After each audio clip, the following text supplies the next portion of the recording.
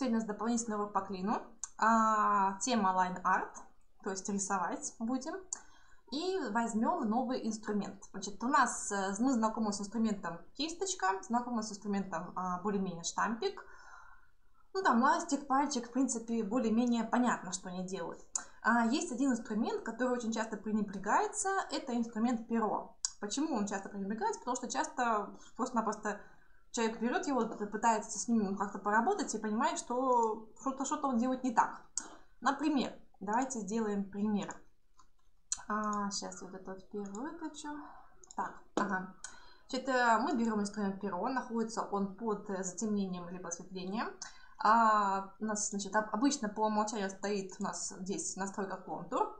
И у нас что он делает? Значит, контур стоит, мы тык, какая-то точка появилась, тык, какая-то линия появилась где эта линия появилась, то есть как бы вот здесь в слоях ничего не появилось. Сама линия прозрачная, то есть она не какого, ни цвета никакого. Начинаем тыкать вот так, задержали, начинают какие-то кривые линии появляться. И что тебе с этими линиями делать дальше, непонятно. То есть как бы мы их закрасить никак не можем, в слоях здесь их не видно. А, и обычно на этом этапе все бросают это, это перо, говорят, что это какая-то ересь, и трогать ее не надо. А, так вот, на самом деле перо это очень интересная вещь. И вот такие вот, допустим, линии плавные, вот такие, да, искривления, она помогает очень быстренько и плавненько сделать. Смотрите, сейчас сделаю вам пример. Сейчас сделаем дубликат э, слоя JP. Э, так, так, так, сделаем кисточка. Нам нужно э, убрать парочку букв японских. Значит, э, секундочку, мне нужен белый цвет белый, пожалуйста. Значит, сделаем дырочку, вот такую. Вот это все удаляем. И вот у нас получилось э, место, которое нужно зарисовать. И э, чаще всего у нас зарисовываем места не такие плавные, ну, не такие плавные эти полосочки, а они вот такого плана, да, то есть мы здесь что делаем? Мы просто-напросто берем тоненькую кисточку, э, берем нужный цвет и вот так вот от руки ну, вот так вот, раз, два, и нормально у нас зарисовали, да, хорошо выглядит. Но когда мы начинаем рисовать вот такие вот места, вот с этим начинаются проблемы. Одно дело, когда у нас прямая линия, да, то есть прямую линию а, сделать а, можно при помощи инструмента фигура. Делаем прямую линию, выбираем там нужную толщину и так далее. А, и эту самую фигуру потом можно будет как прямую линию использовать. А у нас здесь не прямая линия, а кривая при помощи инструмента кисточки тоненькой, если мы будем пытаться вот это вот сделать ну, как ровненько, то у нас получится, возможно, не с первого раза, возможно, не с десятого, не с двадцатого раза, но в конце концов можно постараться, чтобы у нас получился более-менее хороший результат. Например, я вот, этот вот э, эту страничку, первую линию вот, э, вот эту линию я сделала от руки. То есть как бы вот это, видите, у меня красивенько получилось. Это я сделала с помощью пера. Вот эту линию, вот эту и эту тоже с помощью пера. Вот это, упс, не туда нажала. А, вот так надо учить. Вот это все, видите, с помощью пера сделано. Вот этот я кусок специально сделала от, от руки, чтобы показать то, что он все равно как-то отличается. Вот я вот долго-долго пыталась вывести его кисточкой, я не знаю, минут 15 э, потратила на то, чтобы его так вот нарисовать. Ну ладно, не 15, наверное, переборщила. Ну, минут 5, наверное, точно потратила. На то, чтобы сделать эту линию, этот э, перо, ушло минута, может, даже меньше. Я не засекала, извините. А, так вот, в принципе, можно постараться сделать это дело кисточкой, да, то есть, как бы мы что должны сделать? Мы должны кисточкой а, ввести аккуратненько, аккуратненько, аккуратненько вот сюда. Если мы видим, что это не получилось, мы перерисовываем, потом а, стираем лишнее, вот таким вот способом стираем лишнее и так далее, и так далее. И в конце концов доходим до нужного нам результата. А, а вот инструмент перо может нам помочь вот сделать такую линию буквально пару кликов. Итак, давайте изучим этот инструмент. У нас есть, э, чтобы изучать этот, этот инструмент, мы возьмем не мангу, потому что в манге очень мало вот таких линий, тем более в данной манге я уже это сделала.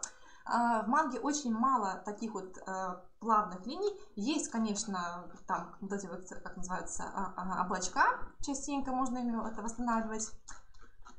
этим самым э, инструментом э, перо, но в данном случае я нашла инструмент, картинку получше, на которой можно тренироваться, тренироваться и еще раз тренироваться. Это у нас детская картинка, где у нас есть очень много закруглений. Если вы хотите тоже потренироваться, порисовать э, пером, вам нужно просто-напросто вбить в Google, либо в Яндекс, в какой-нибудь поисковой системе э, детская картинка, детская раскраска и вам он выдаст какие-нибудь картиночки, вы выберете себе подходящие, где много таких вот плавных линий, берете их себе и включаете в фотошопе и начинаете тренироваться, работать с пером. Значит, э, начнем вот с этой вот детали. Значит, что нам нужно сделать? У нас есть инструмент перо, мы пытаемся его сделать, сделать что-то с ним. Значит, во-первых, смотрите, а, заметим, что у нас сначала идет как бы режим контур. Сначала разберемся с контуром, потому что это режим, который стоит по умолчанию в фотошопе обычно. А потом э, выберем режим фигура. Фигура работает проще. Почему? Объясню чуть позже. Значит, э, поехали. Контур. Э, допустим, нач, начинается мой, э, моя фигура, вот это начнется мой контур вот с этой точки. Тык. Точка поставилась. Что будем делать дальше? Следующая точка по, ну, такие как бы правила, не правила, мы можем ставить точки вот так, даже это самое тык, тык, как лосо, помните такое делать? Можно вот таким способом сделать контур полностью, да, то есть аккуратненько, аккуратненько. А, получается, что все у нас эти линии соединены более-менее хорошо, и получается такой контур, да. Давайте доведем его до конца. Такой способ э, делать контур сюда, и. Э, видите, у нас около а, инструмента, вот так вот у нас получается без ничего инструмент показывает, да, а когда наводим на нашу первую точку, то получается такой кружочек мы видим около, ну, там, в правом нижнем углу. Это означает, что если мы так кликнем, то у нас э, контур как бы завершится и как бы, ну, завершится, то есть окольц, окольцуем наш контур. Вот, следующее, если мы захотим начать нажать, то это уже будет уже как бы, ну, другое что-то. Так вот, значит, э, первый контур готов. Итак, что мы с этим контуром можем сделать? Во-первых, где мы его можем найти, потому что в слоях его не видно, а, если возьмем инструмент перемещения, то он нам ничего не перемещает, потому что у нас есть только слой фон выделен. Что нам с ним вообще делать? Значит, э, во-первых, находится контур вкладки «Контуры». Если у вас здесь нету этого контура, а, нажмите э, кнопочку «Окно» и найдите здесь слово «Контуры». Должна стоять галочка, чтобы вы видели эти контуры. Э, я извиняюсь, я его, наоборот, убрала эту галочку. Контуры, контуры, контуры. Вот они, контуры. Вот мой рабочий контур. Теперь я этот рабочий контур все равно не могу переместить. Почему? Потому что работать с контуром нужно не этим инструментом, а другим инструментом, а, а точнее вот такой стрелочкой. По умолчанию стоит черная стрелочка, ей я могу перетаскивать контур, то есть перемещать э, с одной стороны в другую. А чтобы его переместить, переместить, нужно его схватить и тащить. Можно за точку схватить и тащить, но главное попасть по этому контуру. Если мы тут, э, ну, либо в, внутрь этого контура. А если мы вот тут, допустим, это самое начнем пытаться перетащить, то он ничего не тащит, да, то есть вот будет какое-то выделение, но не его. Если у нас есть две фигуры, давайте вторую фигуру нарисуем. Вторая фигура, да, а, раз, два, три, четыре, и фигуру закроем.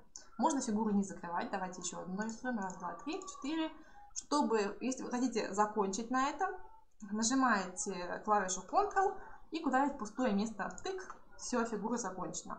У нас есть э, три контура, раз, два три, и все они как бы в одном вот этом вот, вот здесь находятся. Значит, э, чтобы их подвигать, берем, значит, наш инструмент э, черная, как называется, черная этот, э, стрелочка, и начинаем тащить. Первый схватили, вот он тащится, второй схватили, вот он тащится, третий схватили, вот он тащится. А, чтобы схватить два сразу, можно либо shift, то есть мы раз схватили, shift зажали, второй схватили, зажимаем снова shift, третий схватили и перетаскиваем все три. Либо мы делаем выделение, то есть я мышкой, ну, обычное выделение делаю, схватила только два. Схватила вот эти все три, схватила только эти два, ну и так далее. Вот, это у нас а, для перетаскивания. Значит, э, что еще, а, что еще хорошо вот с этим инструментом увидеть? С этим инструментом хорошо увидеть, сколько у нас точек. То есть в этом контуре у нас 4 точки. Раз, два, три, четыре. В этом тоже 4, но не закрытая. В этом у нас много-много точек. И обычно такое много количество точек это как-то ну, чересчур не нужно. Да? А, это вот у нас раз, что нужно сказать о инструменте перо. Значит, второе. Вот эти четыре контура мы так оставим рядышком. Значит, второе, что нужно знать. А, вот эти вот контуры. Что с ними сделать, чтобы они стали наконец-таки какой-то линией? Потому что это пока что просто контуры. Если мы нажмем на слой фон, да, то есть ну, будем работать кисточкой, как-то там рисовать, то сам контур мы никак не задействуем вообще. То есть контур это ничто пока что. Это просто какой-то контур без ничего, без заливки, без ничего. Что мы с ним можем сделать? Значит, э, берем наш инструмент черная стрелочка, выбираем контур, а, нажимаем правой клавишей на него, тык, и у нас здесь есть залить субконтур или обвести субконтур. Почему субконтур? Потому что у нас э, на контурах есть рабочий контур, да, можно по идее э, создать э, новый контур, вот новый контур, и на нем, ну это то же самое, как слои в это самое до, ну в обычных картинках, только здесь слои в контурах. Здесь мы делаем новый контур, вот такой вот, да, допустим, уже сделаем, да, с кривизной небольшой. И вот у нас переключаемся между контурами. Значит, э, здесь у нас всего один контур, и когда я э, черной клавиш, черной стрелочкой подвожу к ним, вот к этому контуру, а у меня, у меня выдает э, этот самый в меню выполнить заливку контура, либо выполнить обводку контура. Когда я кликаю вот сюда, где у меня три фигуры, я выбираю один и могу сделать только субконтур. То есть как бы у него Суп это как бы под контур, да, то есть у меня как бы в этом слое контуров у меня три контура. И этот, этот, э, если я сейчас нажму залить контур, то он зальет только вот один вот этот вот контур. Не все три сразу, а только этот конкретный. Значит, давайте я залью его каким-нибудь цветом. У меня стоит цвет черный, пускай так черный будет. Клик ОК, и он заливает контур черным цветом. Вуаля!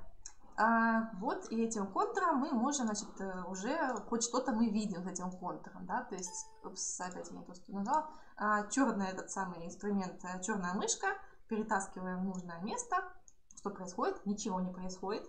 Почему? Потому что, потому что, потому, на самом деле мы заливку сделали не в этих вот контурах каких-то, контур он так остался пустой, мы залили это место черным черной краской. Это то же самое, что мы, знаете, что сделали? Взяли бы этот самый лосо какой-нибудь обычно, да, вот так вот выделение сделали, на слое фон работая, взяли заливку и залили бы это дело черным цветом. То есть э, здесь получилось черное пятно. Вот это черное пятно у нас на слое фон. Чтобы, и мы его сдвинуть сейчас никак уже не сможем. Чтобы э, можно было двигать вот этот вот кусок, который мы залили, давайте сейчас вернемся на пару действий назад, где у нас еще он не залитый оказался.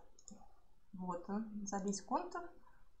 А, так, контуры, выбираем наш вот этот вот, вот этот контур выбираем. Чтобы сделать так, чтобы заливка была двигающейся, нам нужно сделать новый слой. Это раз, делаем новый слой, называем его заливка контура, заливка контура. Вот, заливка контура. И уже на этом слое мы начинаем делать заливку. Правой клавишей залить субконтур.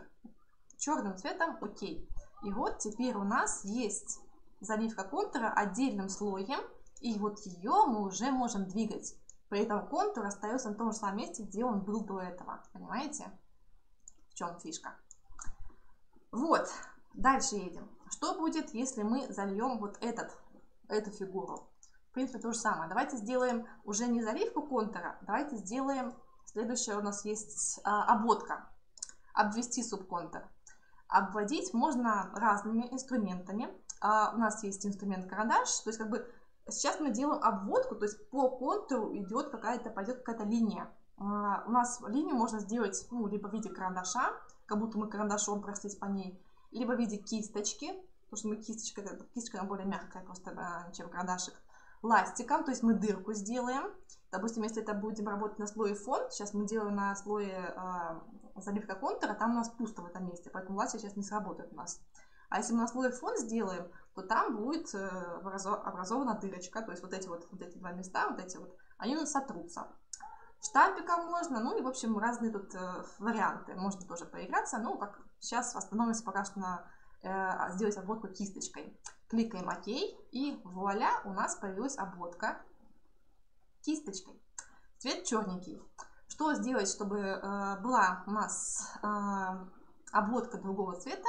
Нужно предварительно выбрать нужный цвет. Допустим, здесь я кликаю, давайте красненький, делаю правой клавишей сделать э, обводку контура кисточкой, окей, и вот сделал мне обводку того, что я там до этого нарисовала. Все это у меня было на одном и том же, э, этим, на одном и том же а, слое. Если бы я захотела, чтобы это было на отдельных слоях, мне нужно было до этого сделать дополнительные отдельные слои. Но я решила так сделать, но это чисто пока что показушка, что можно делать с этим этим. Вот, это что касается работы с контурами. То есть это у нас перо, когда вы работаете именно с контуром.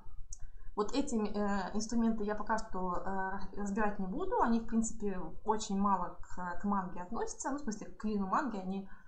Ну, и потом как-нибудь расскажу. Возможно, кому-то они понадобятся в этом в клине манги. Но не сейчас. А, так, теперь давайте разберем, что такое фигура. Сколько идет у нас видео? Видео идет уже э, 16 минут. Давайте на этом закончим. А, значит, первый урок по перу заканчивается на этом. Это дополнительные уроки по клину, напоминаю вам, да. На этом пока заканчиваем. В следующий раз разберем, что такое э, перо с фигурой. Фигура пера. Фигура с пером. На этом пока все. Счастливо.